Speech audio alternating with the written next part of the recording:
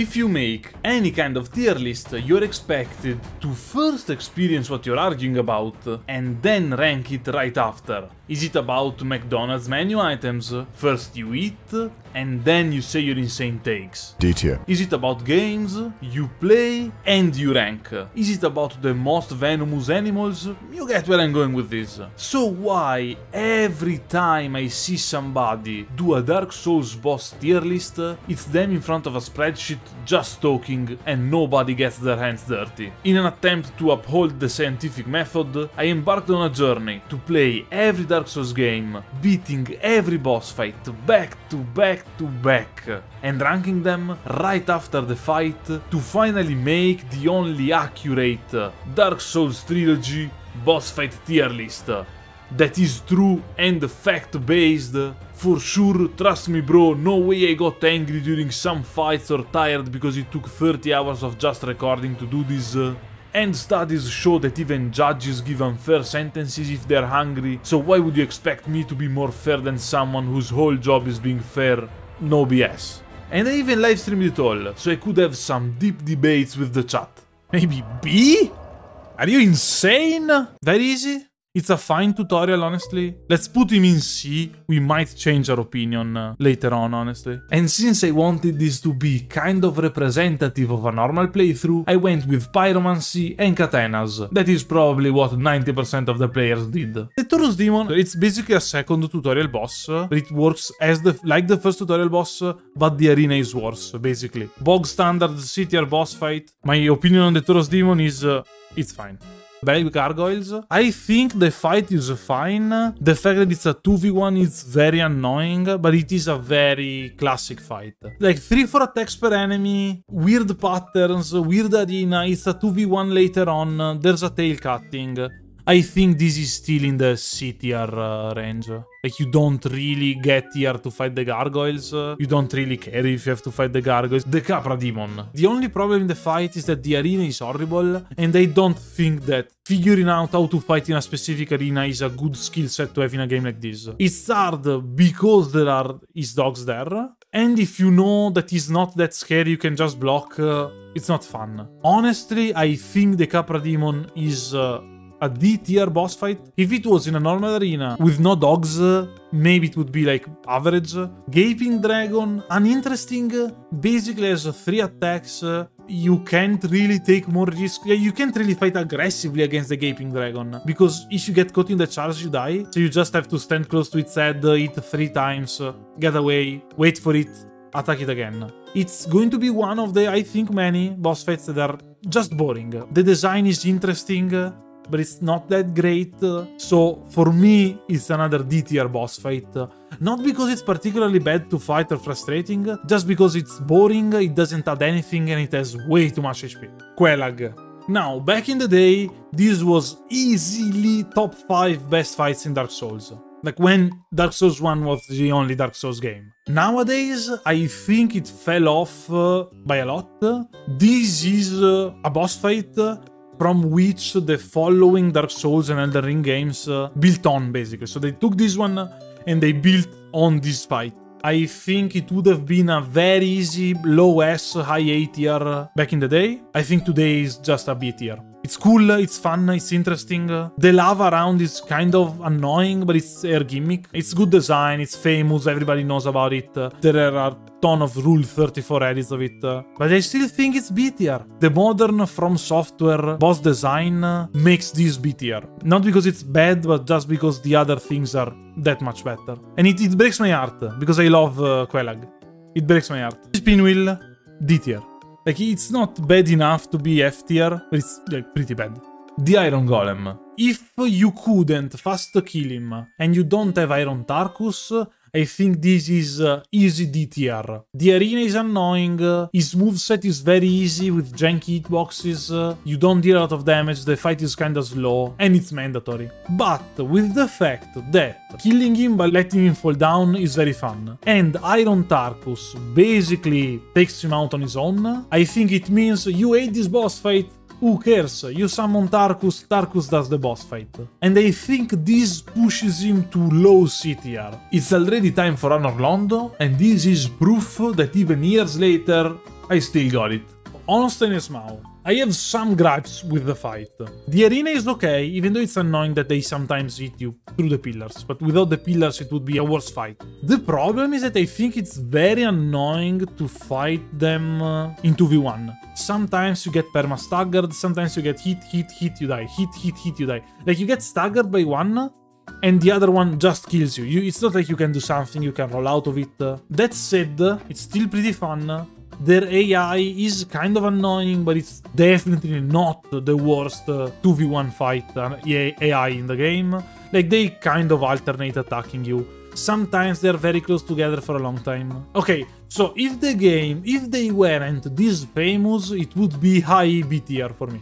Maybe I have to put them in very low A tier to get less hate comments, and they are kind of iconic though. Like they are iconic. They are the most, the best known fight in the game. So I'm going to go low A tier, but this might be like high B, just so you know. Ceaseless Discharge. It's a mandatory boss fight. The way we are going to fight him, obviously not a glitch, this is intended. The idea is that this Discharge, he thinks he can get you, but there's a, like, it's a big jump, he does the attack, uh, and he hangs for dear life. Uh, so now you just hit him six times, uh, and he dies. The problem is that fighting him in the intended way makes him one of the worst boss fights in the whole game. Like the, like the fight is hot garbage pun intended. The lowest D tier, not trash tier, only because you can elect to not fight him. You can walk forward, walk back, hit him six times. Only reason. What? What? Wait, what did I... Oh, okay. You stand back uh, and you just attack him. If it turns around, you turn around with him. If it jumps, you go back. If it does this explosion, you go away.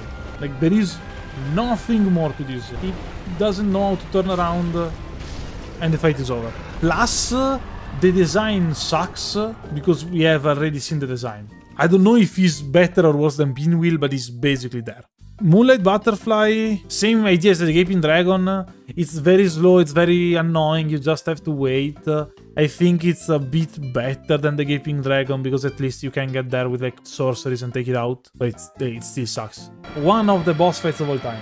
Sif, Sif, Sif. I previously called Ornstein and Smough the most iconic fight in the game. I think it's wrong. I think Sif is the best known fight in the game. I think that every time if you see a dog with a sword in its mouth, everyone is saying it's Sif. That said, uh, okay, she wasn't actually that annoying in this try, whereas she can decide to just jump away, charge at you, jump away, charge at you many, many, many times. Design-wise, it's the best fight. The arena is the best arena because it's Artorias' graveyard. If you get in after you save the Sif uh, back in time in the DLC, you have a different cutscene when you get in. Presentation-wise, it's the best fight in the game. Lore-wise, it's very cool. Fight-wise, it's middling. It can be very annoying. If it jumps away too much, it's very, very, very, very annoying.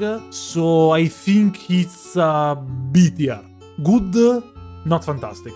Talk about Sif the boss fight is very, very, very non-engaging. You just get close, mash the attack button, uh, and that's it. You, that's how you're supposed to do the fight. You're not supposed to dodge. Dodging his attacks properly is a nightmare. His hitboxes are jank. It sucks. It sucks all around. You just get close, mash the attack button until he dies. That said, presentation is fantastic. You have to break the crystal. It looks cool. He kills you previously, then you get back in. And I don't know if it's part of of the presentation, but the mechanic of having to cut the tail to get such an iconic weapon is also a positive thing about the boss fight for sure. It's a mandatory boss fight. The fact it's mandatory, for me, it's a negative. Because if it's like the butterfly, do you hate the butterfly in Dark Souls? Who cares? Don't fight the butterfly. Do something else. Also, he curses you. If you don't know how to react to him cursing you, it's a nightmare. It sucks so, so, so bad. So I think he's D tier below the Capra Demon. Let's talk about the Four Kings. Honestly, they have many problems. The fact that you have to use the ring, the presentation, the abyss is very cool. The Four Kings works like this. It's a DPS check. You deal enough damage to them, it's cool. You can hit them and you kill one before the following one spawns. You don't deal enough damage, it's impossible because they will gang up on you because you can't kill the first one by the time the second one spawns. You kill the first one, there are two against you already. So you basically die. It's like, there's nothing you can do about it. It's a bad boss fight, it's a DPS check, it's boring, it's mandatory, but the presentation is fine. Say below Seath, above the butterfly. Nito, Nito, Nito, Nito, Nito. Of the lords, he is the best lord. For now, we are just waiting for Nito to come close, so that we don't aggro the other skeletons. If you have a divine weapon, the fight is a lot fun, more fun, because you kill the skeletons, they stay dead, so you can kill all the skeletons, then fight Nito. Kind of annoying that every time you have to kill all the skeletons, but whatever. If you just get close and hit him tanking damage, it's a lot easier and it's a lot worse of a boss fight because it's just mashing the attack button while standing close. His attacks are kind of interesting. Yes, this attack where a weapon stabs you from the ground and you saw me dodging it without being able to see him because he has a very specific shout he makes. So if you have the timing down, you can dodge it every time, no problem. And that is a positive thing. Like it's a tough attack that if you are good, you can dodge. That's a positive. That said, it's kind of annoying that you have to jump in, you have to wait. Also, you take damage while falling inside the arena for no reason at all. It's probably better than Capra Demon though. Capra Demon is bad because there are dogs. Nito is kind of bad because there are skeletons. Nito without skeletons, I think it's a cool boss fight. The presentation is cool. I think it's D tier above the Capra. I don't think it makes the cut for C tier. Fire Sage. You already fought him once, maybe twice, and it wasn't a good fight in either the previous times we fought him. He's on fire but he's not resistant to fire, and he doesn't even deal fire damage, it deals magic damage, because it's just a recycled boss fight. It's annoying, if he wasn't in the game, the game would be better, yes, for sure. Is it so bad that he goes in trash tier? Probably not better than Ceaseless Discharge. Centipede Demon. The fight would be okay, the problems are sometimes his AI bugs uh, and just uh, uses the same attack against you 15 times in a row, as you saw. Main problem with the boss fight is the camera shake. The camera shake is super annoying and if you are motion sick, like if you get easily motion sick, basically means it's unplayable for you. Without the camera shake, it would be IC tier. I mean, if you can't play it, it's just trash. If you're motion sick, trash. You hate him obviously. If you don't get motion sick during the fight, uh, I think he's like low CTR. Now, this is the Bed of Chaos. Fun fact, if you stand here, it cannot hit you. How it works is that we have to break two seals, one on here, one on the other side. Uh, maybe?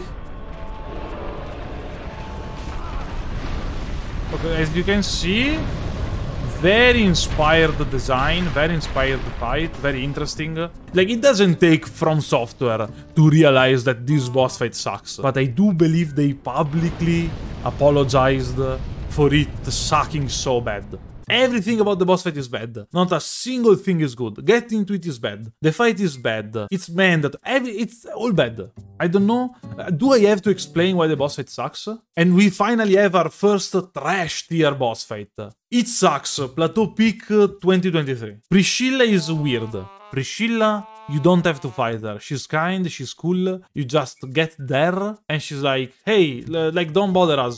Th that's the way to get out. That said, the boss fight is okay, it's cool. It's interesting, it's not very hard. She becomes invisible. There are some ways you have to keep her track of her. Almost gimmicky, but it's not actually like gimmick territory. We had a row above, Priscilla Colored, best girl. And she's in the best girl tier. For sure. Above S tier, best girl.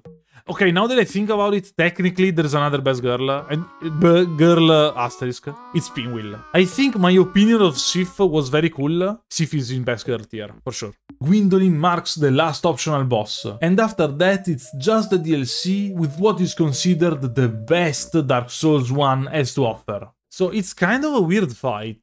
I think it's a good gimmick.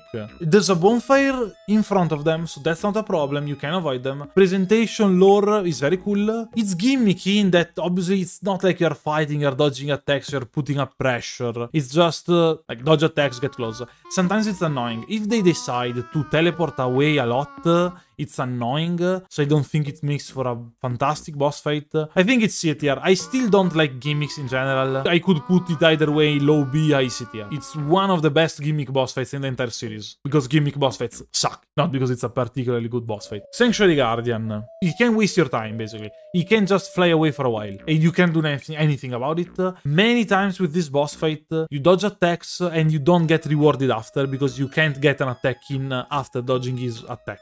In New Game Plus, there's two of them instead only one of them, and it's disgustingly bad, okay? It's horrible, it's garbage if there's two of them. Now, I'm going to consider the single Guardian. If it was the Guardians, it would be one of the worst fights. I think it's a low C tier. Knight Artorias is cool, incredibly iconic.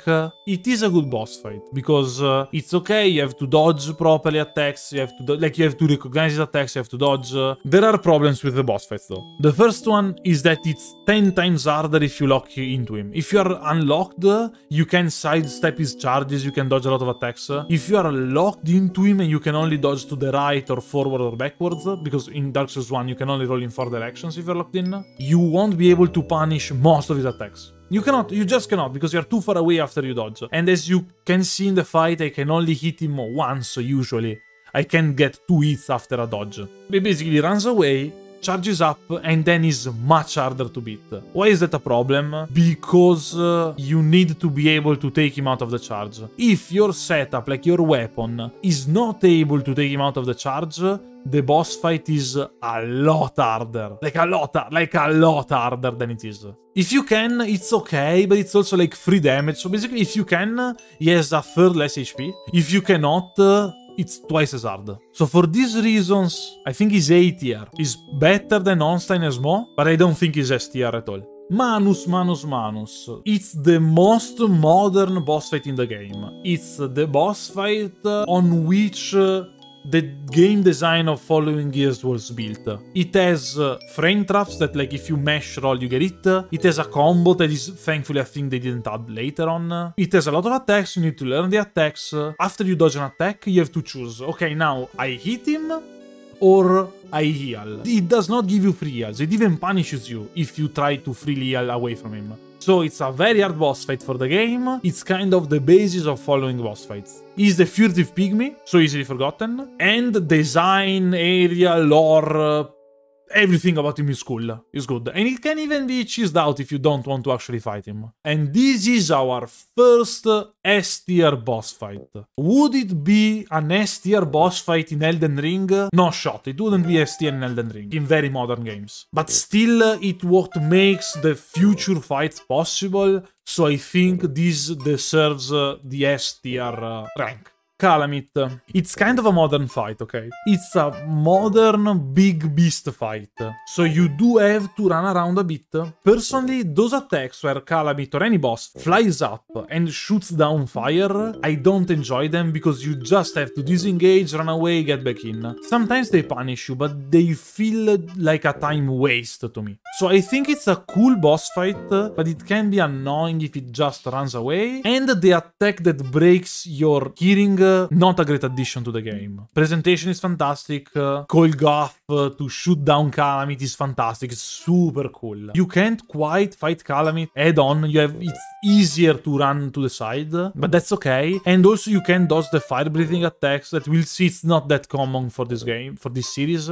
I think Kalameet deserves a A tier spot. It's not S tier in my opinion. It's kind of annoying that sometimes you just waste time against Kalameet, whereas with, with against Manus you're always in. Yeah, Either you're attacking or you're waiting for Manus to attack to get a proper dodge and take him out. With Kalameet there's a more dead air, but I still think it deserves an A tier spot. Do we need Arbro Solaire? No. Is the boss fight a lot better with a friend?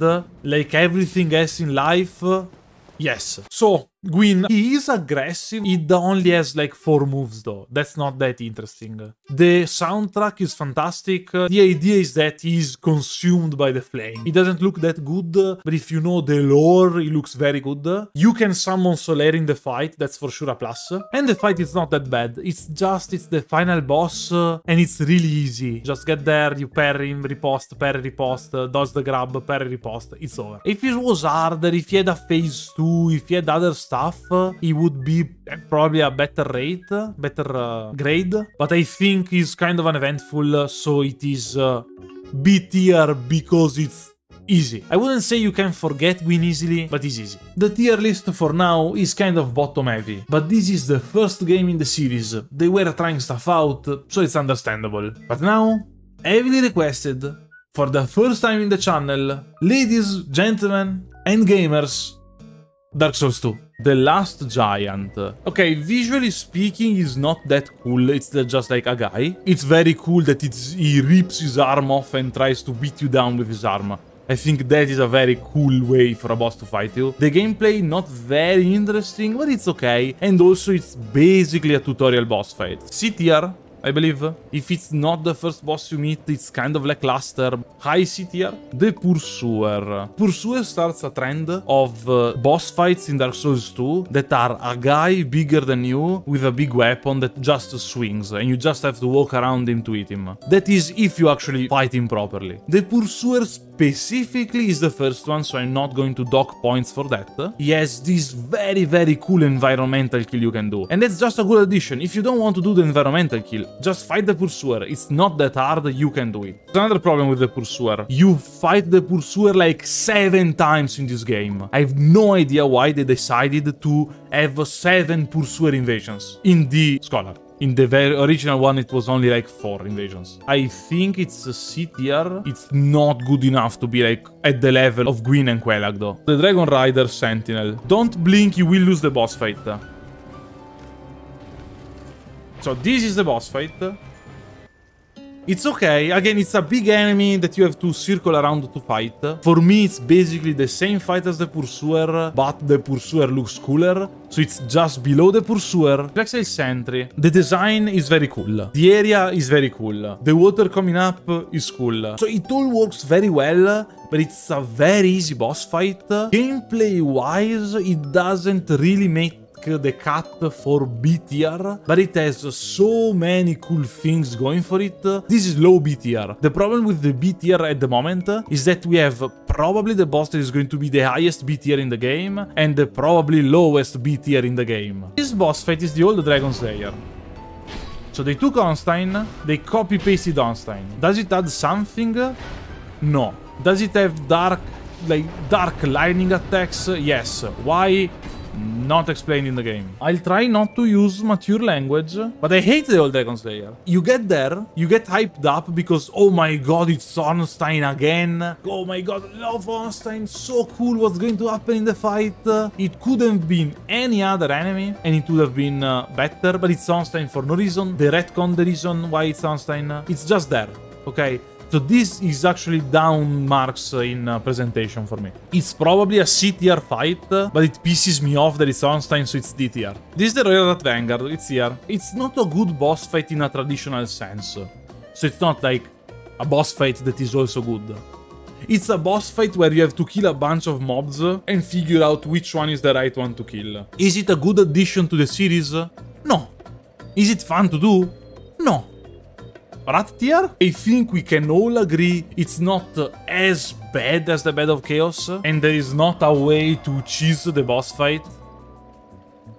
So it's actually, it deserves a rat tier. The rotten one. Fighting wise, it's not amazing. It's very bog standard. It doesn't really have like frame traps or anything else. The design is cool. You can cut off his limbs. You don't get any reward. If not, he doesn't eat you with that arm, obviously. Very Monster Hunter-like. But I like the idea of, uh, okay, let's focus apart so that the fight is a bit easier. The arena I don't really like. My problem with the arena is that I don't like arenas areas where there's like environmental traps that only work for me. So if I go in the fire, I take an impossible amount of damage. If the Rotten goes in the fire, nothing happens. So if he decides to just be close to the fire and not move towards you. You have to disengage, wait for him to come towards you, then you can fight. I think high C, low B. I don't know if he deserves the B spot, though. It's kind of annoying. Maybe slow B tier, below the sentry. Again, the problem here is that the first two boss fights in BTR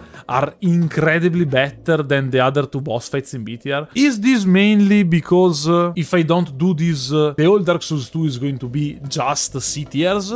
Yeah, Skeleton Lords. It's another attempt at a mob boss fight, where there are a bunch of enemies you take out, there's not like a single or two big enemies you have to focus. But it sucks. I mean, at least the Red Vanguard had that you get swarmed. In this one, you don't even get swarmed. You just like walk away, kill a bunch, wait for them. You won't run out of heals. It's impossible. Is Dark Souls 2. Play ring around the rosy for them, hitting one at a time. So I think the boss fight sucks. It doesn't quite deserve the trash tier. It's okay. You get in, you beat them in the head 10 times, the boss fight is over. So I think this is a D tier. It should be Rats tier, but it's D tier. Now the Sentinels. Their moveset isn't like super interesting. It's okay, it's not super interesting. It's a 3 on 1, and somehow they managed to actually get a 3 on 1 fight going.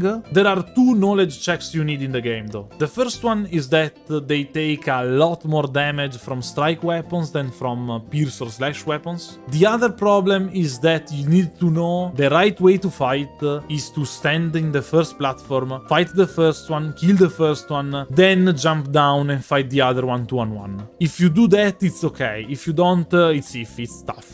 I'm tempted to put them low B. Yeah, they are the best gank boss in the game, but it's not that good of a boss fight. It works. It's a 3 on 1 boss fight that works, but that's basically it. So I think it's high C tier. So it's, it's an okay boss fight. It's an okay boss fight. The Lost She's fast, she's active, she dashes at you, she jumps up. It's uh, slower than you're used to if you play Dark Souls 1 or 3, probably, or Elden Ring, because Dark Souls 2 is kind of a slower game. She does have Dark Souls 2 boxes, uh, and if you don't level up adaptability, it's a problem. But the boss fight is uh, okay, it's interesting. You can sidestep, you can get free hits, uh, you have openings, uh, but you don't have like huge openings. I think it's good uh, swordman boss fight. Plus, this side thing you can do to try and light up the room and fight her with the light on so that it's easier, it's an addition to the fight for me. It's, it's cool. I think bog standard mid B tier, cool fight, uh, fun to do, mid B tier. The chariot. What you're supposed to do is hide in these uh, crevices so you don't die by the chariot hitting you. Or you can go nuts. And that dodge is very precise. I mean, very precise. You're supposed to slowly walk ahead. Still got it. You pull this lever, a gate comes down, and the chariot just like smashes down and takes damage. And then, like, the boss fight is not very uh, entertaining. The design is cool. The idea of a chariot rolling around is cool. It's, it's fine, but it's still a gimmick. This would put the chariot uh, about here. About uh, Taurus Demon, Centipede, uh, even Gargoyles, uh, Iron Golem. The run to get to the boss fight is one of the worst designed ones in the games and one that literally makes you think why am I playing Dark Souls 2? If you were able to run Enter the Fog it would be mid C tier. You cannot do that uh, below the 4 Kings, D tier. So Najka, the fight is not that bad. It is kind of easy, her attacks are slow, you can dodge to the side. But it's tough to beat her. If you stay far away, she's just tough. If you get close, uh, it's easier, but design absolutely uninspired. It's literally we have Quelaag at home. So I think she's not that good for that reason. C tier. Below Taurus Demon, better than Centipede Demon. Not too many redeeming qualities, not too many damning characteristics. Supposed to be... Oh, I forgot... Okay, so this is the Covetous Demon.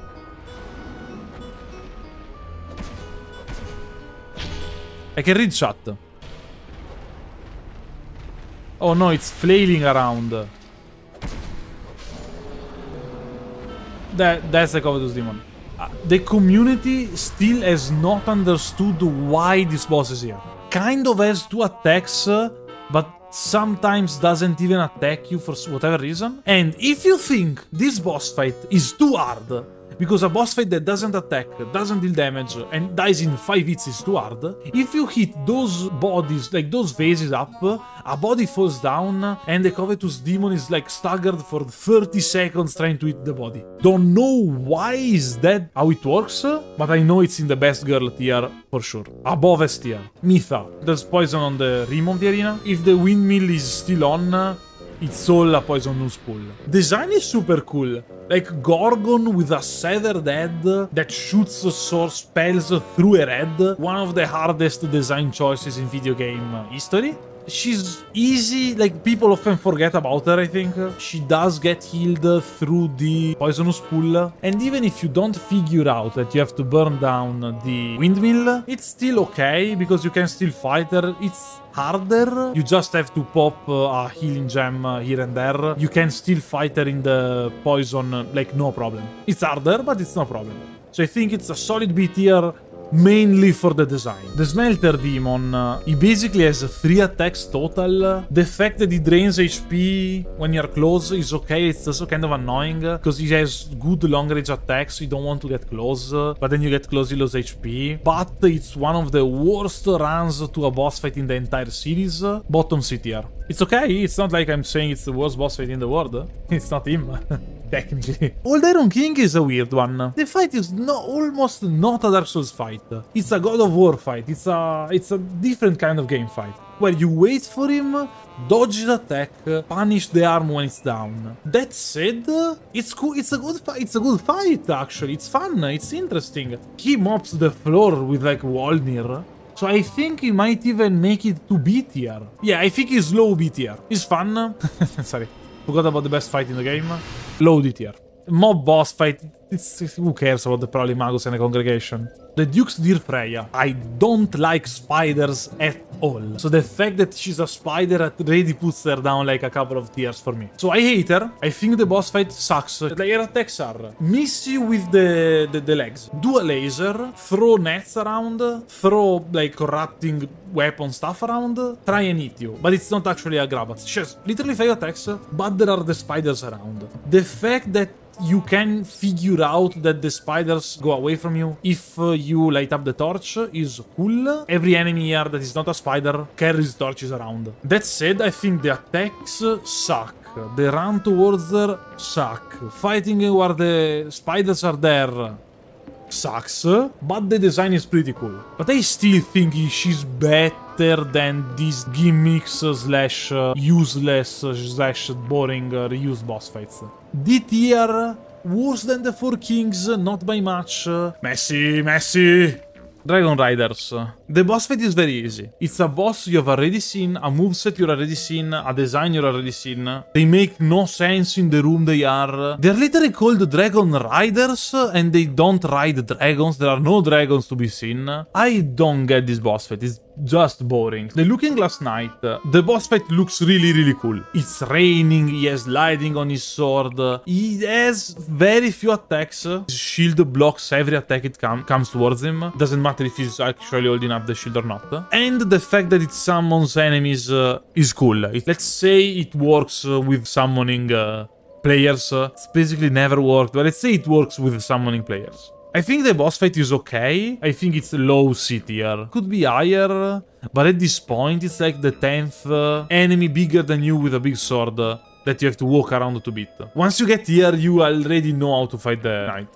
It does look cool though. The Demon Song. It's a gimmick in that you can only hit him when his armor is uh, open up. At the same time, it's not a fun gimmick. It's just uh, you have to wait and if he decides to not to open up the armor for a while, you can do anything about him. The attacks have weird hitboxes. All the road you have to do to get to him really sucks. His armor works weirdly in that, like as you saw with my double rapier, if I were close, I couldn't actually hit him because the weapons bounced off the armor. Better than the mob boss fights probably, but not by that much. Velstadt. His boss fight is probably the best big enemy with a big weapon boss fight of Dark Souls 2. We are talking about uh, probably half the game total. They are all big enemies with a big sword in this game. In phase 2 he has a buff, uh, you can deal damage, you have to change your approach. he can be aggressive if you're aggressive.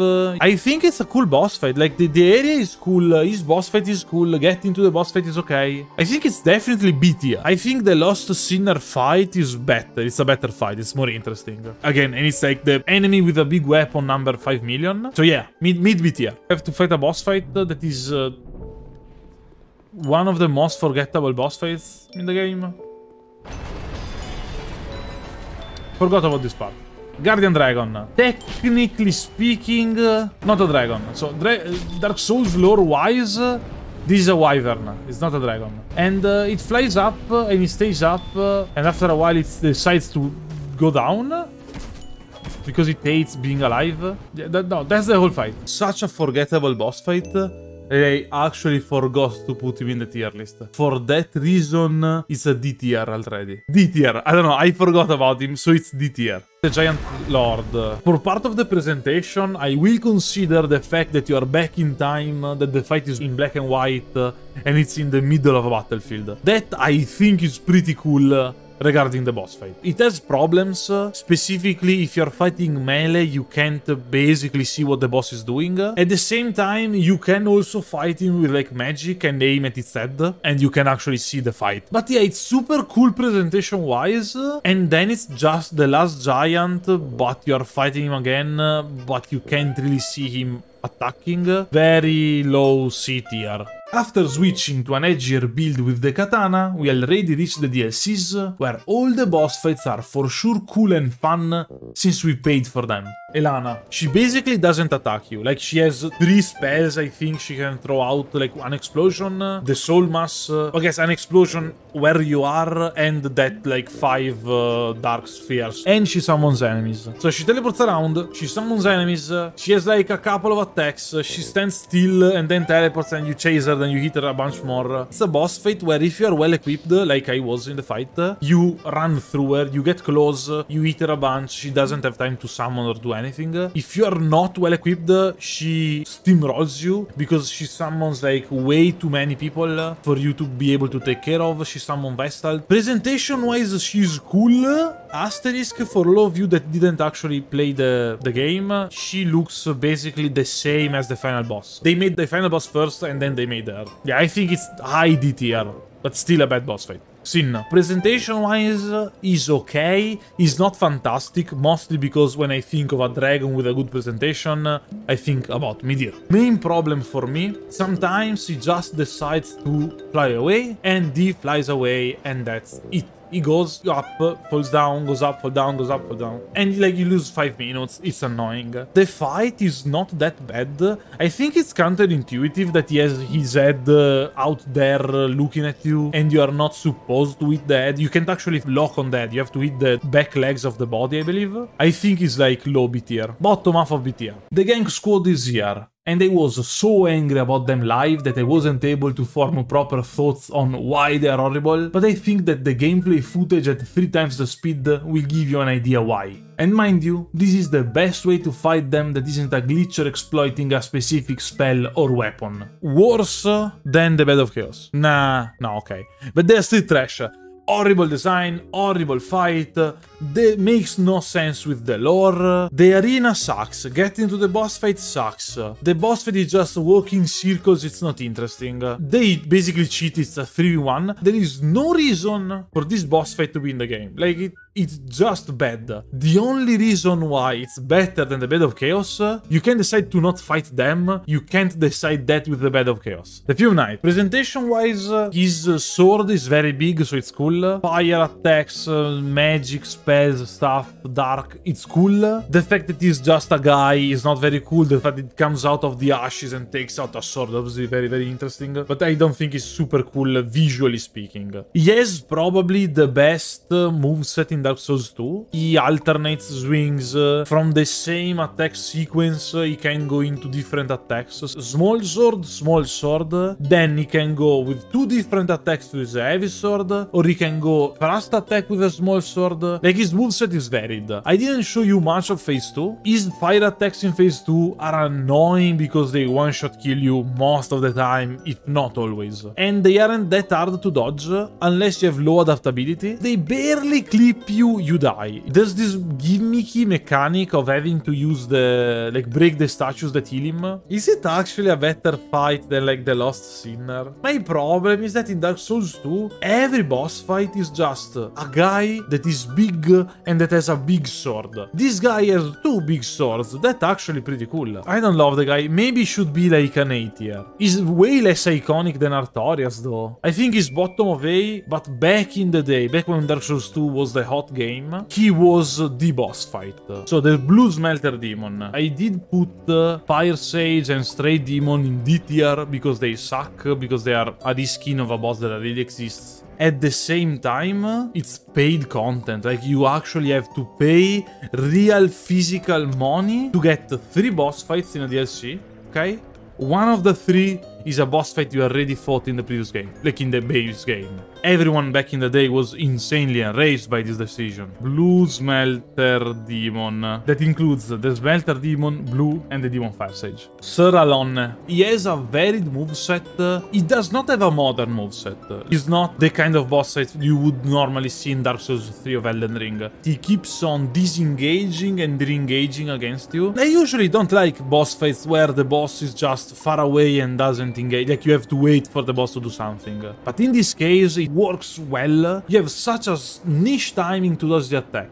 You know what you have to do. You have to wait and roll at the proper moment. So, even though you are not fighting, he's just disengaged, he's away from you, you are still focused on the fight because you know an attack is coming and you know you have to dodge it. Now, the negative things, I would say the run back, like getting through all that enemies every time to fight the boss is very bad. Dumb negative thing for me is that the whole fight should be in black and white, like an old Akira Kurosawa movie. I, I don't like that the game gets color after a couple of seconds we are inside. That said, I think that the simple addition of uh, if you beat him without taking damage, he commits uh, ceremonial suicide. It's so fun and cool and engaging and it pushes you to play perfectly. So for these reasons, I think it's an 8 tier boss fight. I think Artorias is still too cool, but I do think he's a better boss fight than uh, Onsen and the Fume Knight and like all these other people. The King's Pet. The boss fight is not very good, straight up.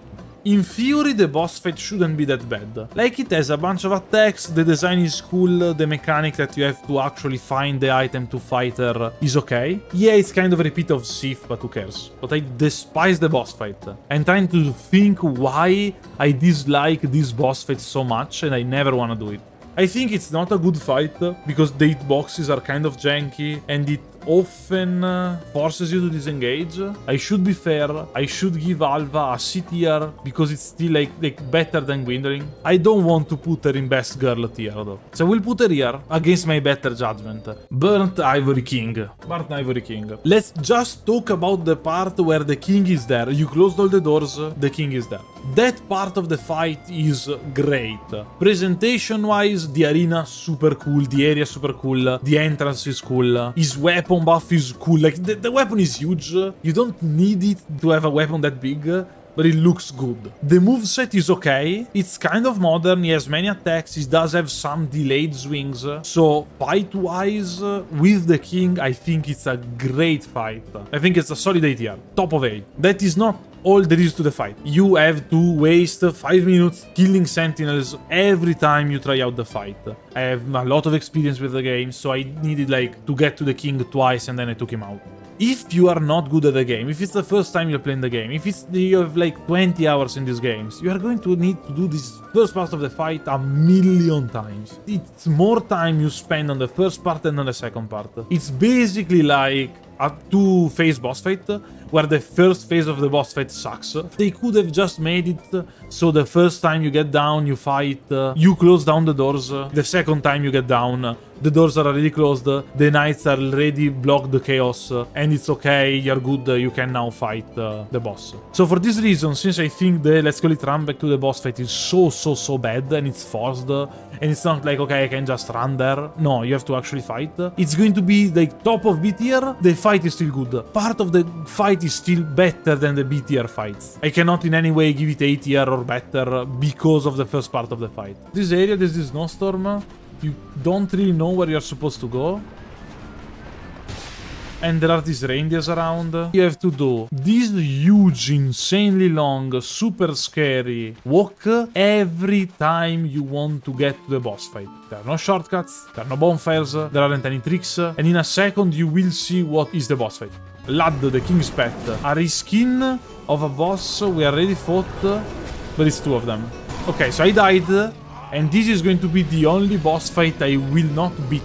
Lud and Zallen Bottom of trash tier. Just to make it clear. They made the first DLC. It was okay. People liked it. It had a boss fight that sucked, but okay. They made a second DLC. People liked a lot two boss fights, but the third boss fight everyone hated because it was a lazy reskin of a boss already in the game they made a third DLC, mind you, paid content. You actually had to pay physical money to buy the DLC, where they made uh, a boss in the DLC, and then they made another boss that is a 2v1, that is uh, the boss you already fought, but twice, plus they made it the worst possible area to get. Somebody, okay, somebody playtested this game and was like, yeah, it's cool, ship it. I don't know how this went live. I have no idea how this went live. Somebody designed it, put it in a game, got playtested, and somebody said, yeah, it's cool, ship it. So we will not fight that boss. The DLCs are over and they left all the best optional fights for last. There's a problem in this game. This is a boss fight. You can talk to him, he's not aggressive uh, when you show up, and he's going to give us an item. If you get in, and instead of talking to him, you attack him and you aggro him, you do have to kill him in order to proceed in the game. Now, let's see how much damage we deal to this uh, big man here. Eh,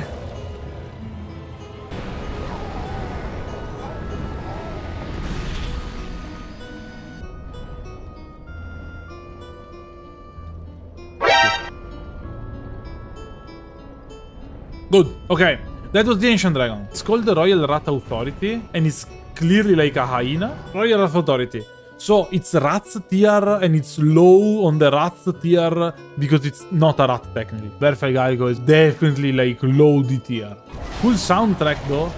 If you don't get the joke, uh, it's the Gargoyle soundtrack from Dark Souls 1 because they couldn't even bother making their own soundtrack. And yeah, it's just a bunch of gargoyles. I got here late in the game intentionally. At the beginning of the game, they just like swarm you and you die. If you get here while you two-shot kill them, it's almost okay. Of the three mob boss fights in the game, this is the worst one.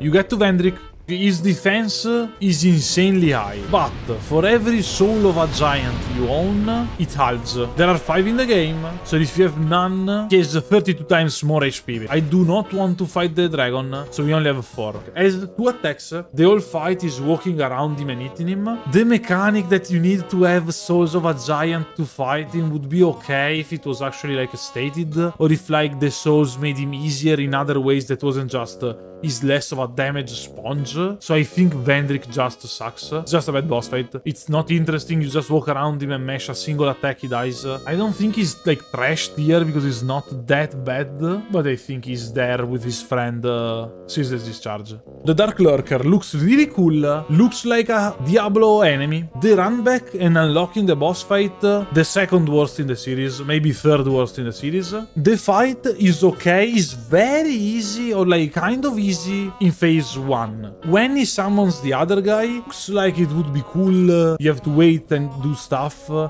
it's actually very random, you have to focus on one of the two, just wait, and if you're lucky, the other guy does like a teleport, does something useless, and you can take them out. Because they aren't very well equipped to be fought on 2v1. If they just spam uh, ranged attacks, they are a bit desynchronized, they just kill you. Like they do two big explosions, they're desynchronized you don't have time to actually dodge both attacks. You just die. So for these reasons, I still think the boss fight is very cool. I think it's very low B tier though, because it's annoying and because I hate getting to the boss fight. Without the run back, it would be probably higher in the B tier. From Guardians, unexpectedly pleasant fight for it being a 2 on 1 fight. If your damage per second is insanely high, the fight is very easy because once one of them drops, the other one will try to get it back up and you can basically kill him on the spot. But it's not that harsh of a DPS check like the Four Kings. So I think it's a pleasant pleasant fight, it's okay, they fight, they game. They're gaming, they're just gaming. Worse than Velstadt, better than the, the, the, girl with the severed head. Nashandra, honestly, it's just disappointing. She doesn't move, she has like two attacks total. She, she doesn't do anything. And I'm also going to dock her points because that is technically the final boss of the game. And you're expecting like a cool boss, of an amazing fight. And it's just Nashandra sitting there. Let's go, girl, give us nothing. Uh, it's basically Nashandra. I think she's D tier. She's not worse than like Four Kings. Uh, she's not better than Seath, uh, the Scaleless. Now, Aldia. Just a bad boss fight. It's annoying. You can only attack him when he doesn't attack you. It basically breaks every rule of this game. The, the idea of Dark Souls, and why it's fun, is that you are taking risks by trading hits with the opponent. You can, like, sidestep and hit while an attack you know is going to avoid you. You can dodge and hit maybe once or twice before uh, the enemy can attack you again. You can wait, block attacks, and when there's an opening, uh, go for it. This uh, breaks uh, that flow. This is just uh, you turn off your brain, you just wait to dodge his attacks. You wait for him, you dodge attacks, that's it. After you finish dodging attacks, you can hit him a bunch, and then you go away. And you can't even get cheeky with it and like hit him through the fire. Uh. Yeah, so when there's fire around him, it takes uh, a quarter of the damage, I believe. Something insane. Plus, like, again, paid content. This time you have to buy the Scholar Edition.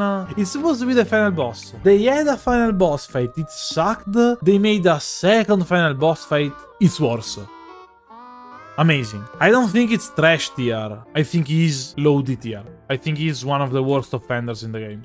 And with that, Dark Souls 2 is over. Maybe the average boss grade went a little down, and it wasn't that high to begin with, but now it's just Dark Souls 3 left, and I already feel like I came back home. Iudex Gundyr. The presentation is fantastic. There's this statue guy pull a sword from his chest, he wakes up, and you have to fight him, plus he has a phase change uh, in the middle is tough because he's definitely like tougher than the Asylum Demon because like the Asylum Demon is kind of a gimme meant to scare you first then you kill him. Iudex Gundyr is actually a boss fight you have to beat. Obviously because it's a tutorial. Obviously, okay, so the same boss fight not called Gundyr 5 hours into the game would be a lot less cool, but since he's a tutorial boss, I think he does everything a tutorial boss needs to do. Makes you want to play the game, because like it's cool, you, you want to figure out stuff. It makes you understand parries, dodges, phase changes, staggers, it basically does everything you need.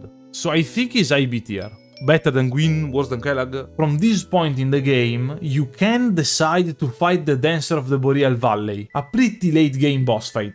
And I elected not to do that since I want to keep up the order of boss fights as close as intended as possible. I will consider that for the ranking when we get to her, but for now, I will fight Vordt. The fight is a little janky, and maybe it's a learning thing. But in this fight, if you dodge away from Vordt, you get hit every time. If you dodge towards Vordt, it's much easier to not get hit, uh, but it's also much less intuitive because you don't get hit because he's holding the weapon, he has it in his arm, but the elbow part of his arm does not have an hitbox in most attacks. That's a little janky, and his hitboxes are a little janky. That said, the fight is cool. It's menacing, it's a big enemy. This host is the Dark Souls host.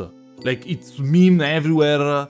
This is the host. He would be IC tier. I think the memes push him in B tier. Big Man the 3 is easy. Presentation-wise, uh, it's not that it sucks. It's actually disgusting. If you think you have to fight like the common folks in the in the arena, you actually are wrong. It's a bait. You should just focus on him. So that's obviously like not good. And he's a gimmick.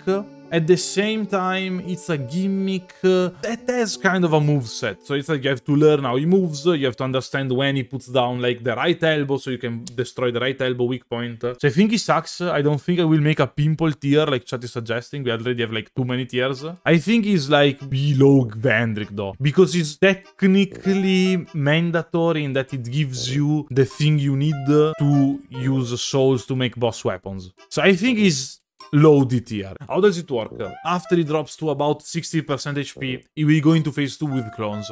It's very weird, because, uh, well, I mean, he summons the clones, the clones get killed by any attack, like one hit and they die. At the same time, uh, they deal full damage, but it's not like a gimmick fight where you don't know which one is, because when they start casting, he is the one with the purple spells, the other ones we're going to have blue spells. Usually the best choice in phase 2 is to just rush him down, try and attacking him, and uh, if uh, the clones hit you twice, you're dead. It's the best choice because sometimes you kill all the clones one by one, you get close to him, and he just teleports away. So you have to kill the clones again. The other problem this boss fight has, and I think it's a problem, is that he is weak to physical damage, resistant to every other type of damage, very resistant to magic damage. So if you're doing like a run where you want to have fun, you want to use like spells, sorceries and stuff, for this fight you have to pick up a rapier or a long sword or whatever else, kill him with a sword, and then you can back go back to having fun with sorceries. I don't think he deserves uh, C tier. I, I think he's D tier, high D tier. So how does this work? There are these guys called the Deacons of the Deep. And this like soul, red soul thingy goes in one of them. Once you kill the one holding the soul, the boss takes some damage. If you just hurt them, or like wait too much time, say, hit them. If you just hurt them and wait too much time, the soul goes away. And it goes to another one. They chase you, they want to kill you, they infinitely respawn. And... Uh, alluring skulls uh, do work. And they kind of stagger it.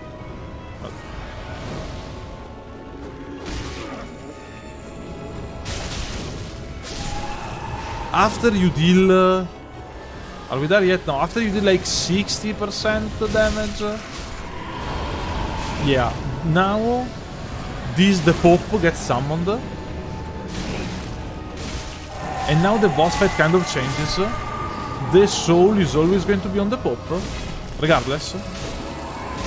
And the mob can do different attacks now.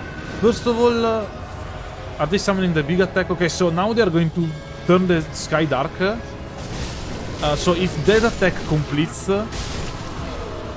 I start to build up death now, the Deacons of the Deep have a very big problem. The problem is that it's not a fun fight. How you do the fight is either you are super well equipped and you just get there and straight up murder them, okay? You destroy them. Or if you don't deal enough damage, if you're trying to do weird stuff, if you have a weird weapon, at the beginning you just wait for them to move to the side and then hit the one left behind with the soul. After that happens, you go in phase 2 and then it's like just a brawl, just like you get close to them, you mash attacks, you hope you survive 5 hits that permanently stagger you. you. You roll away, you heal, you get back, you hit them again. Either you, you run out of heals, they run out of HP, or they start to do like the dark attack that kills you. If this fight wasn't like infinitely respawning, it would be better, but it's also kind of a bait for new players. It's not trash tier, but I think it's a bad fight. I actually think uh, it's the perfect definition of a rats tier boss fight. The rats. The Legion this fight is weird, because if the question was how good is phase 2 of the fight alone, it would be easy ATR no questions asked. The problem is, there are also other parts of the fight. It's the only mob fight that actually works, because like it's a 2 on 2, you can kill one and then try and team up with the Chaos uh, guy against the other Farron guy. At first, obviously, you get overwhelmed, you're 2v1, you don't know what to do, you run away, 30 seconds pass, another guy joins the fight and you're like, oh, okay, wait, I can just wait, I can deal some damage now, then I run away. Not super cool that you have to run away, but and then it's actually like a fight, we are trading hits back and forth, uh, it's actually cool. Presentation-wise, it's amazing. Uh, room filled with the bodies of the enemies you're fighting, uh, you hear them fighting from outside the room, uh, uh, one like goes back alive, there's flaming sword, so like presentation one is, is great, like it's not top of the top, but it's great. That said, I don't like that you have to redo phase 1 uh, time and time again. I will have to waste a minute 2 minutes in phase 1 because simply because uh, there's that 2 on 1 uh, situation. Technically, if you did enough damage, uh, they all spawn together, they all wake up together, so you don't have to waste that much time. It basically has the same problems as the Burnt Ivory King. I still think it's top of BTR because it's sometimes boring. I put them high BTR. If you are like, no, for me it's middle of A easily. Uh, we agree, we share the same sentiment about the fight. I'm just docking more points because of phase 1. Wolnir. These are all the good things about the fight. It's cool and it's easy. Like it's it's over quickly so you can go to fight actual boss fights. He's just like D tier. He's not horrible because at least like it's very easy. Ah yeah, it's he's there. He's uh, one of the boss fight of the game mid tier. Old Demon King. Presentation-wise, he's insanely good if you play Dark Souls 1, kinda good if you play Dark Souls 2. If you have not played the previous games, oh, watch the previous games or whatever, you like him less because the whole part of his presentation of his arena is that uh, he's in between the corpses of the old uh, Dark Souls 1 demons, uh, and he's clearly a Dark Souls 1 demon. The boss fight is okay, it's pretty easy usually because uh, if you stand really close, uh, most of his attacks will miss you. If you stand really far away, like with sources and stuff, uh, most of his attacks will miss you. If you stay at a mid distance, it's kind of iffy, but why would you stay at a mid distance? If you played Dark Souls uh, 1 uh, and 2, is definitely top of C tier, maybe even B tier. If you have not played them, it's a lot less iconic, it's just an old guy. But I did play them, so I think it's B tier. I think it's B tier, it's not a great... No, it's not B tier. I think it's top of C tier. The hitboxes are way too janky for him to be B tier, honestly. Let's talk about the Pontiff. I don't think there is a single bad thing about this fight. Presentation is cool, like the church, uh, he shows up, uh, his sword light up, like super cool. His moveset is hard to understand, but you have to understand it. His phase transition with the clone actually works because the clone only does uh, his moves uh, but with a delay. So is the clone annoying? Yes. It's not like the clone is doing his own thing and you have to figure it out. The clone and the pontiff do the same things but with a slight delay. So if you look at one of them, you know what is going uh, to happen. Difficulty makes him a little roadblock? Yes. If the difficulty is very artificial, just like deals insane amount of damage, it's okay for him to be like lower in tier because it's just annoying. He's not though. Why he kills you is because he has roll catches, like delayed attacks, and he punishes you if you heal. And yeah, he will kill you a bunch of times, and it's absolutely a roadblock from for beginners. That said, you can go towards Yhorm, get a bit stronger, then come back to the Pontiff. I might even say he's better than Manus. I will not, but I think he's S tier. He's, uh, he's much better than all the A tier fights. He's more fair, he has more interesting movesets, he doesn't one-shot kill you. We are left with the last set of lords, and since most of them up to this point were put in D tier or worse, I'm not too hopeful. And on that note, next one is Aldrich it's kind of a gimmick fight. Like, they don't dodge, they don't do stuff. So it's not actually, okay, I'm playing the video game. No, it's more like uh, eat Aldrich while Aldrich does not try to move or dodge attacks and eventually will teleport away to, like, be annoying. But I think the fight sucks. Okay, so no, presentation, lore, stuff is cool. Trash is a very special place for very, very bad fights. The, the fight is very middling. It might even be higher in the D tier list, honestly. It's just very annoying. Like, it prevents you to playing the way you want to play. Like, honestly, he actually worse than Gaping Dragon, than the Butterfly, than Wolnir, than the Four Kings, uh, than Nashandra? Okay, change. I think it's still D tier, but it's not that, that bad. Yhorm. It's a gimmick fight, and it's a gimmick fight with only one way to beat Yhorm. You do have to use the Storm Ruler. My first playthrough, as many other people's first playthrough, we got the Storm Ruler, we didn't read the flavor text of the Storm Ruler, we didn't finish Siegward's questline, so we had no idea what to do. My very first playthrough, I completely respect my character to sorcery, and I tried fighting him with sorcery. Siegward's questline and special entrance, and the fact that if you do Siegward's questline, basically the fight is already over by itself, is cool to me, is an interesting part of the fight. Some credit goes for that, and uh, it's really easy. Yes, it's a gimmick, if you know how the gimmick works, it's insanely easy. It's not like a gimmick, but you are also stuck. You can see me doing it in many videos. You can technically fight him without the gimmick. After he takes enough damage on the right hand, he is staggered and puts his head down. So you can deal a bunch of damage to the head and then like repost the head for a massive amount of damage. I think it's better than Wolnir. If it wasn't for Siegward, it would be lower, like near ceaseless discharge, honestly. Let's talk about the Dancer. Presentation-wise, she just uh, comes in, uh, the entrance is cool, uh, where she hits with the fire weapon, that part of the church starts burning. It's not a gameplay thing, it doesn't matter, unless your graphics card was like my graphics card back when I was recording those three videos. So if she set fire to too much of the church, uh, like your PC crashed. But, but like, Normally it shouldn't happen. The fight is interesting. It's kind of complicated. So the hitbox in the grab is disgusting. It's very bad, actually. It's a detached, weird hitbox that often grabs you. The rest of the fight is fine. So already, fight-wise, I think she's definitely like a good A tier fight. Like middle of A tier fight. That said, you can fight her as the second boss in the game. And if you do that, you get uh, a weapon 2 plus 9. The game even gives you a dark weapon that is weak, uh, the, the dancer is weak to, so the, uh, the weapon is strong against the dancer. So for these reasons, I think she's uh, top of A tier. So Ocelot, Oceiros. Oceiros is a weird fight, because phase 1 doesn't really make sense, it doesn't really do anything if not uh, forcing you to keep at a distance. Phase 2 is also weird. He like runs around, he turns around. His hitboxes are like you're supposed to be very close to him and just dodge and hope to iframe through all of his attacks because they don't have that many active frames. So I don't think it makes for a very interesting fight. I think it's it's a weird fight by all intents and purposes. I don't really get the fight. I think it's mid C tier because I don't get it. Better than the Centipede because I don't get it, honestly. I don't think it's good. I don't think it's worse than like Nito or the Capra Demon. I think it's better than Nito and the Capra Demon. Champion Gundyr, You heard me hating a lot on the Smelter Demon and on the Fire Sage because uh, they suck. They are just lazy design. They got a boss that they already made, copy paste it, send it. Gundyr, you might think, hey, but we already fought Gundyr. No, because Gundyr's fight is different.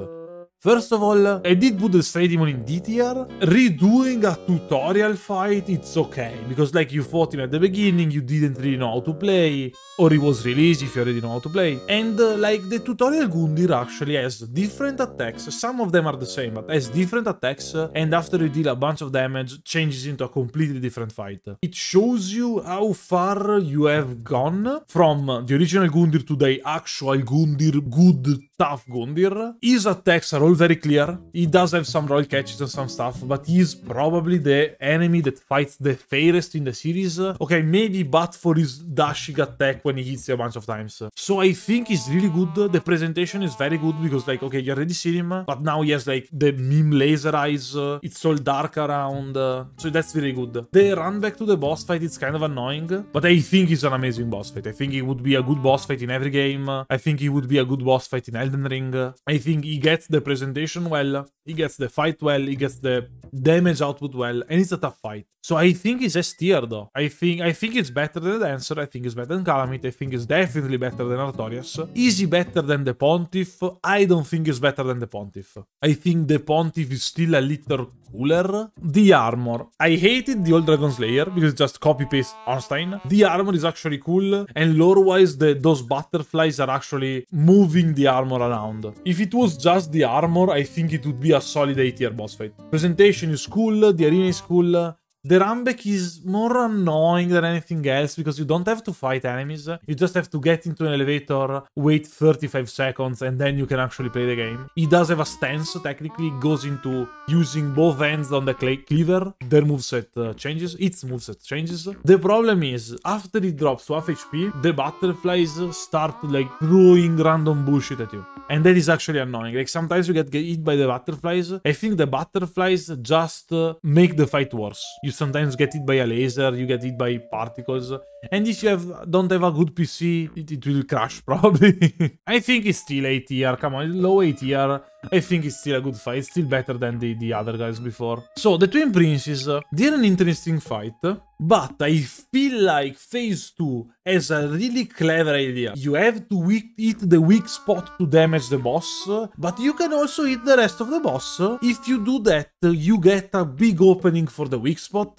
I think that is a great idea for a fight. That said, the attacks in Phase 2 I don't think are that good actually. Like the attacks in phase 2 are like annoying, they force you to just run away, especially the light particles. The teleports are nasty sometimes, and they are pretty hard to dodge. So usually when he teleports away, you can't just dodge away. If you just dodge when he teleports, you get it.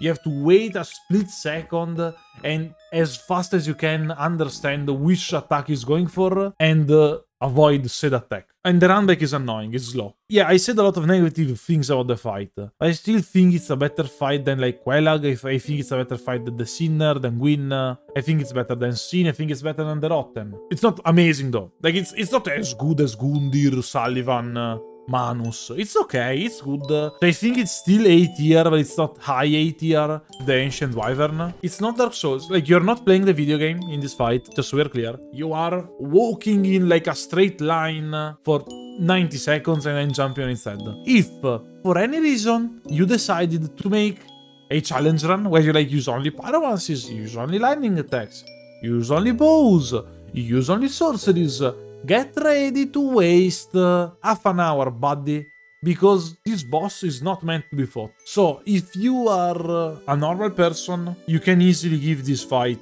low D tier. I make challenge runs, so it's in trash tier. Nameless King, if you consider presentation, lore, and the fight itself, the Nameless King is an easy S tier. He has the problem where like sometimes after an attack he swings uh, twice or three times or four times and that is very hard to actually like understand when he's going to swing more times because it's the exact same animation. So you can understand it but it's kind of weird. So that's not very good for the boss, like regarding the boss honestly. At the same time, there's the King of the Storm.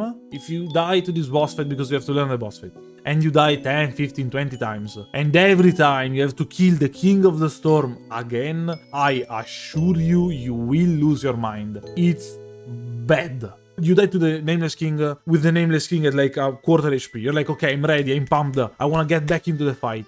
You get in uh, and you have to waste 2-3 minutes to the King of the Storm uh, because the King of the Storm just decides to fly around. Now, is my hatred for the King of the Storm enough to lower the Nameless King to A tier instead of S tier? It was enough for the Burnt Ivory King. I think it's enough for here. So I think just for that is A tier. But yeah, if for you it's S tier, again, we have the same opinion on the fight. I'm just docking more points than you for the first phase. The finale of Dark Souls 3 begins with the DLCs, and it's agreed upon they contain some of the best boss fights in the series, and also the champion Gravetender. It's annoying because every time you get in, though, you have to kill the three dogs, the three wolves.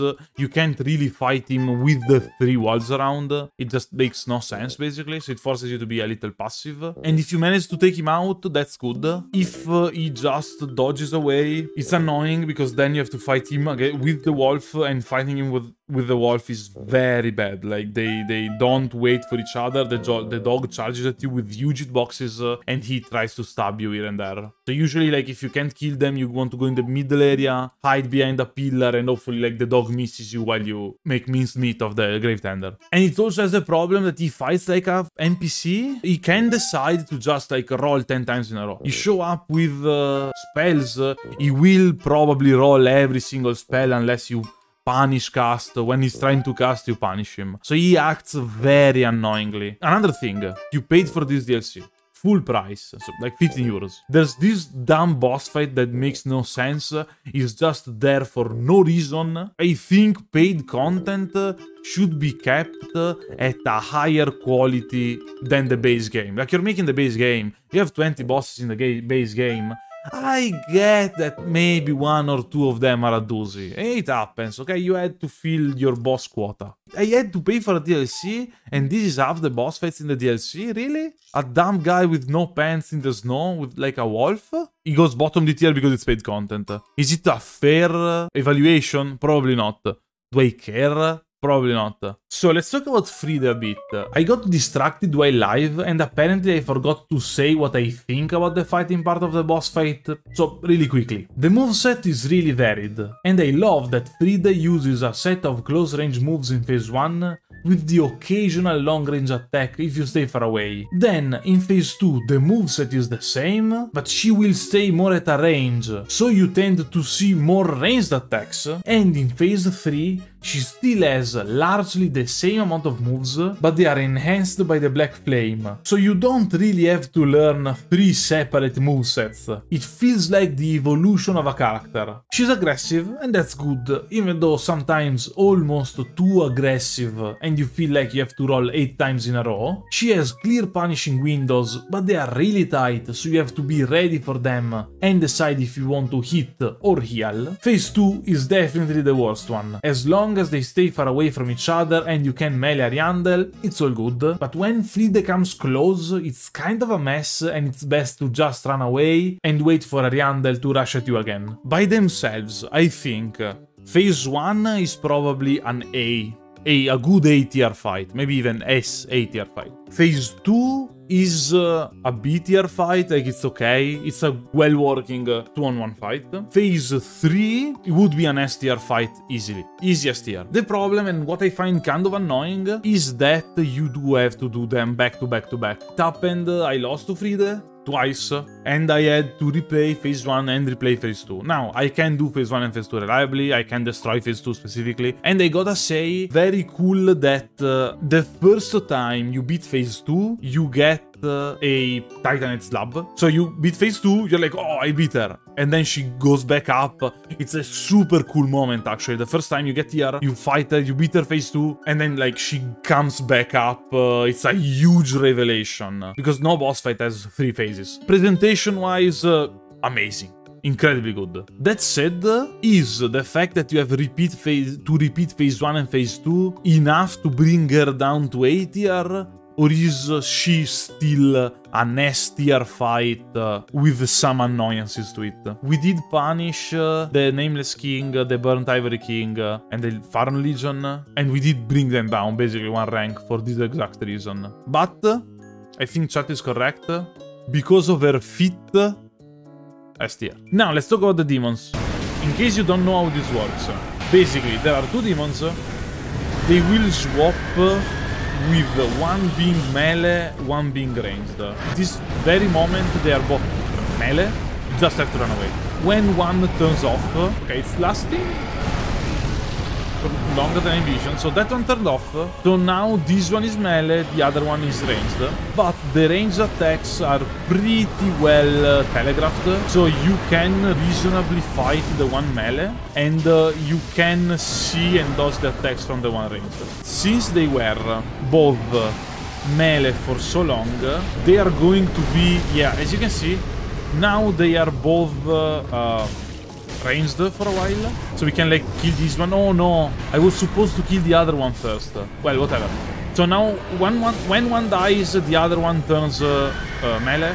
But we have such a high damage output that we can kill them both quickly. The last one you killed will turn into a single enemy. And depending on which demon you killed, you are going to have a boss with different attacks. But what can happen and often happens for beginners, for people that don't use guides and stuff. It looks like the Demon Prince simply has like 50 different possible attacks and you don't get why sometimes he does the laser attack, sometimes he summons meteors. That said, I think the fight is pretty good. I think it's interesting. I think it is the best executed duo fight in the series and uh, I don't know how they messed that up uh, the Godskin duo that bad in Elden Ring, but another thing. I think like presentation wise it's amazing. Like getting inside the arena like that, maybe not as cool as the Ivory King, still pretty cool. Like this moment where you you think you killed them because you killed both of them and then one comes back up to life It's very cool presentation wise. So I think the Demon Prince is a good fight. So I think it's an A tier and I think it's top of A tier though. A dual enemy and a huge enemy and it still works very well like fight-wise. So I think it's high 80. I think it's a solid boss fight. This is Half-Light. This fight technically is uh, an online fight. So if you're online here, and there's like a player that does it, a player will invade your world and you will actually fight against a player and the Painting Guardians. Okay, so say you're playing offline. This is incredibly annoying because there's a bit of a run back to the boss, but the annoying part is that it takes a minute kind of a minute to get inside Alfred's fight. By the time you go down the elevator, get to the mist wall, get in, wait for the speech. It's not like the game didn't find anyone to invade me. I was the game is set to be offline, still takes 30 seconds for the Judicator Argo to make its speech. That is incredibly annoying to me, and it's a very annoying fight. Now, it went decently, but if you can't take out the Guardians quickly, or if you're using any non-conventional attack weapon, or you're trying to have fun with like sorceries or bows, you basically cannot hit Half-Light. He's, he's so unbelievably annoying. He will roll and dodge every attack you make. Yeah, cool gimmick for online, weird and unsatisfying otherwise. Yeah, I think that is basically Half-Light. Also, if he decides to parry you, he parries you. It's not like you can do something about it. I think he's D tier. I think he's on par with the frog, uh, kind of. Uh, even though, like, he's not super low D tier because, uh, yes, uh, technically you can go online and fight a player. The, the online fight is actually fight is actually pretty fun. So this is Midir. If you know how to fight him, it's okay. You have to stand in front of him, basically at all times, and it's not a super intuitive thing. Like, he's so big at the beginning you don't really get why you're not dealing damage. You have to actually know that the only way to fight is to be in front of his nose. It's, I don't think it's very intuitive for a new player. Like, he's huge. I think you feel like you have to hit his claws or his legs. If you know how to fight him, it's better. Now, his attack combos and sequences are good, well telegraphed, easy to understand, I would say. Like, it's kind of intuitive. You have to get the timing, but he goes back, he opens his mouth, he shouts. You know he's going to bite you. You just have to understand when he's going to bite you and when you can dodge. But that is learning a fight. That is not like a bad thing. Like, his combos, attacks, his sequences are okay. The presentation is uh, downright awesome. It's fantastic. The arena is the arena in the where the furtive pygmy gets the Dark Soul in the original Dark Souls 1 opening uh, scene. He looks incredibly good. His laser attacks look incredibly good. Like presentation wise, is uh, top notch. Is fantastic. My problems uh, reside with uh, how his AI works uh, and the fact that he has many, many, many attacks that force you to wait. You can't really trade damage with him. You are either always rolling either was hitting. If he decides to just do run around the arena back forwards and backwards, you can't do anything about it. And an attack is triggered by you being in front of him. It's not like, okay, you get punished with an annoying attack because you were uh, under his body. No, if he decides to just spam the run or spam the flight, you just waste time. You, you can't do anything about it, you just waste time. That said, if you know how to fight, is decent. So, Th this is the biggest problem. Most of the community, and also of the people in chat, considers him to be like best of the best fight, like a S tier fight easily. I don't think he's S tier at all because he has way too many problems, he's way too annoying. The community considers him to be a, like a 10 out of 10. I think he's like a 8.5 out of 10, but I still think it's a decent fight. I think he has way too many problems to be S tier. I think mechanically speaking, he's close to being a high B tier fight for me. Yeah, how does he compare to Kalameet? Like there's less downtime with Kalameet. If you have no idea how to play the game properly, let's say like proper, like efficiently, you can still beat Kalameet and it's going to be an awesome fight. You are going to have fun. So like a new player or not an experienced player or just one that wants to have fun, I think you can beat Kalameet. Not easily. It's a super tough fight, but you can beat Kalameet. Midir forces you to play the way you have to fight Midir. Midir, you have to fight against Midir. Kalameet, you can play the game and have fun but I do have to give credit to the presentation. I think that presentation-wise is one of the coolest bosses of all time. So I think it's going to be A tier, just because it's cool, and to get a little less hate in the comments of the video. So yeah, also, okay, so did we review Midir? Cool. Now we can.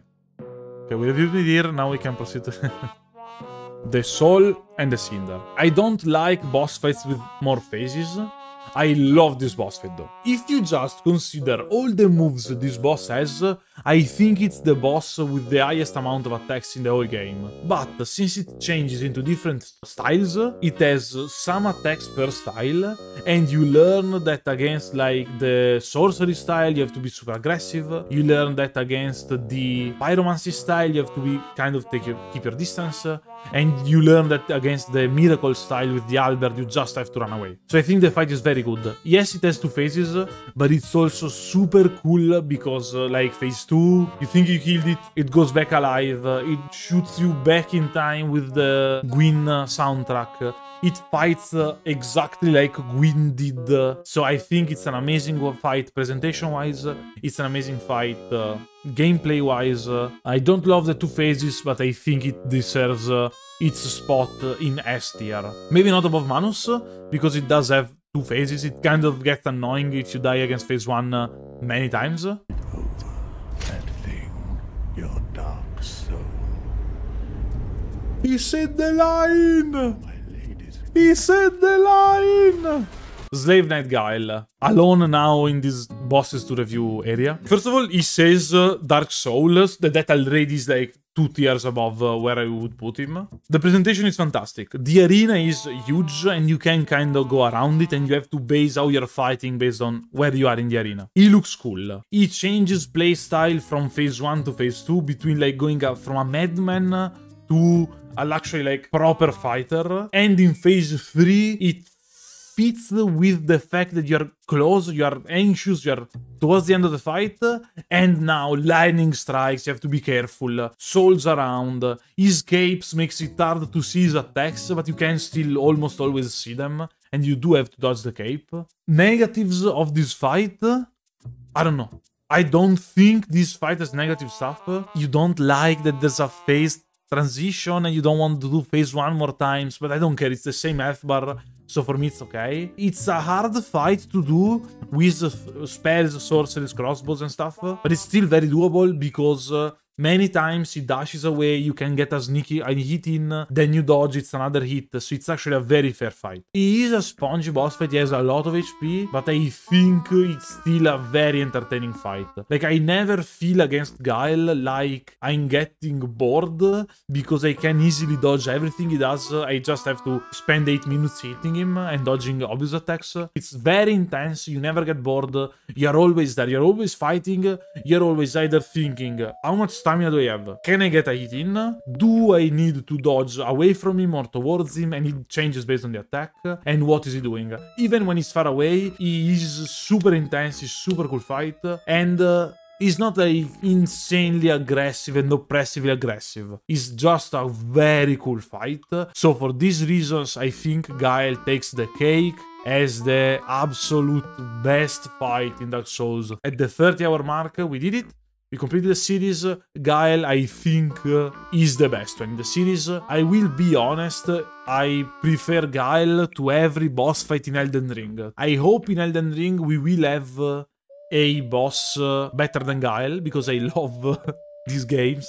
So I want a boss better than Guile. But I do strongly believe Guile is uh, amazing. Uh, maybe you can be like, oh, but I like uh, like Manus more, so maybe... Still, it's okay, you can put Manus above Guile, I don't care about that. I think Guile is the best one, I think he's easiest tier. And I think we actually got a pretty decent uh, curve with the bosses here. And it's dawning on me that this was like 30 hours of gameplay. I will have to look through 30 hours of footage to make this video. Hopefully I will be able to make it before like Armored Core comes out.